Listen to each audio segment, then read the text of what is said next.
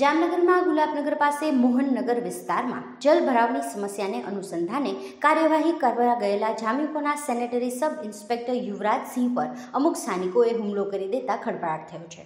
બોલાચાલી પછી હિંસામાં પલટાયેલા બનાવમાં સામા પક્ષ તરફથી પણ આરોપો લગાડવામાં આવ્યા છે. હુમલામાં ઇજાગ્રસ્ત સેનેટરી સબ ઇન્સ્પેક્ટરને તથા અન્ય ઇજાગ્રસ્તોને સારવાર માટે જીજી હોસ્પિટલ ખસેડાયા હતા. ઉલ્લેખનીય છે કે આ બનાવ કોઈએ મોબાઈલમાં રેકોર્ડ કર્યો હોવાની તથા વિરોધી પક્ષે મોબાઈલ જૂટવી, ડેટા ડિલીટ કરી દીધો હોવાની પણ ચર્ચા છે. આ પ્રકરણમાં કાયદેસર કાર્યવાહીની તજવીજ હાથ ધરવામાં આવી છે. તાજેતરમાં ધ્રોલ માર્કેટિંગ યાર્ડમાં મહાવીર ટ્રેડિંગ કંપનીમાં રૂપિયા દસ લાખ પંચ્યાસી હજારની ચોરી થઈ હતી. જામનગર એલસીબીએ આ પ્રકરણમાં એક આરોપીને ઝડપી લઈ રૂપિયા બે લાખ રોકડ સહિત કુલ રૂપિયા બે લાખ એંસી હજારનો મુદ્દામાલ કબજે કર્યો છે.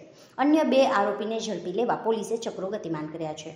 ગઈ તારીખ અઢાર છ બે હજાર ત્રેવીસના રોજ ફરિયાદી શ્રી રાકેશભાઈ મનહરભાઈ શેઠ કે જેઓ ધ્રોલ માર્કેટિંગ યાર્ડની અંદર શ્રી મહાવીર ટ્રેડિંગ કંપની નામની દુકાન ધરાવે છે આ દુકાનની અંદર એમની લોખંડની જે બારીની ગ્રીલ હતી, એને તોડી અને એમની તિજોરીમાંથી રૂપિયા દસ લાખ પંચ્યાસી હજારની ઘરફોડ ચોરીની ઘટના બનેલી, જે અનુસંધાને ધ્રોલ પોલીસ સ્ટેશનની અંદર ગુનો રજિસ્ટર કરવામાં આવેલો અને અમારી ધ્રોલની સ્થાનિક પોલીસ અને એલસીબીની ટીમ આ ગુનો શોધી કાઢવા માટે સતત પ્રયત્નશીલ હતી.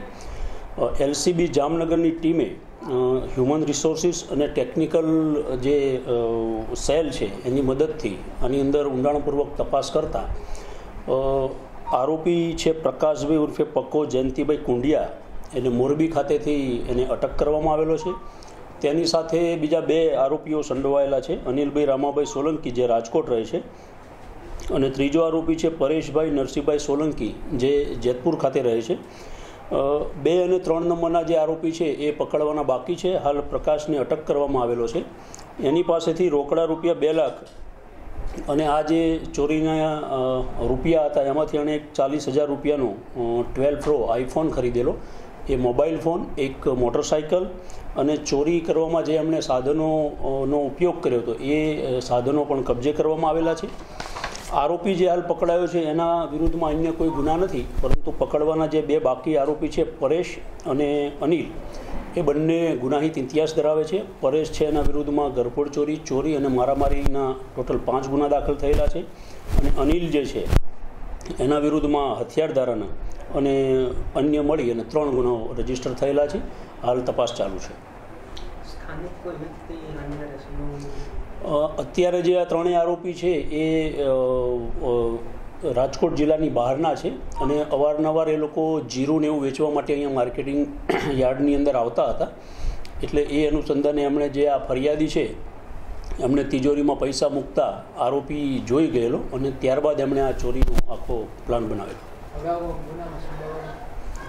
બે અને ત્રણ નંબરના જે આરોપી છે એનો જે મેં તમને વાત કરી એ પ્રમાણેનો ગુનાહિત ઇતિહાસ છે. જામનગરમાં જૂના કુંભારવાડા વિસ્તારમાં મોટા આશાપુરા મંદિર પાસે જર્જરિત ગઢની રાંગનો અમુક ભાગ ધરાશાયી થતાં દોડધામ મચી ગઈ હતી. આ અકસ્માતમાં કોઈને ઈજા થઈ હોવાની માહિતી નથી. અગત્યના સચોટ તમામ સમાચારો સૌથી ઝડપી મેળવવા માટે અત્યારે જ અમારી ચેનલને સબસ્ક્રાઇબ કરો.